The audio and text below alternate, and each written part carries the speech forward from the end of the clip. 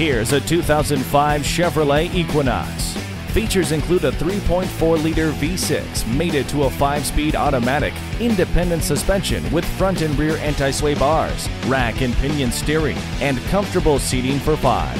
It also comes with a 60-40 split rear bench seat, numerous storage compartments, air conditioning, a multi-speaker stereo sound system with a CD player, and 68.6 cubic feet maximum cargo area. Combining the utility of an SUV with the agile handling of a passenger car, this stylish crossover is an excellent choice. See it for yourself today when you take it for a test drive. Beechmont Ford, we're a friend in the community. Stop in today. We're easy to find off I 275 at exit 65A Beechmont Avenue.